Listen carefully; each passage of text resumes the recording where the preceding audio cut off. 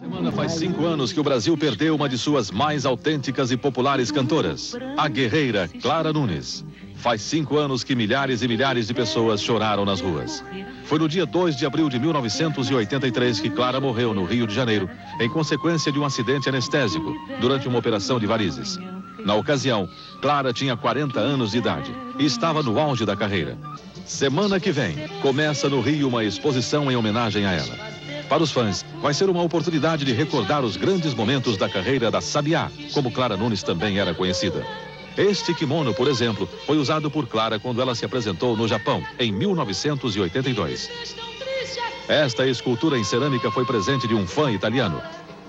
Aqui o disco de ouro que Clara ganhou em 1980 com o LP Canto das Três Raças. O vestido que ela usou na estreia do show Brasil Mestiço em 1981, no Teatro Clara Nunes.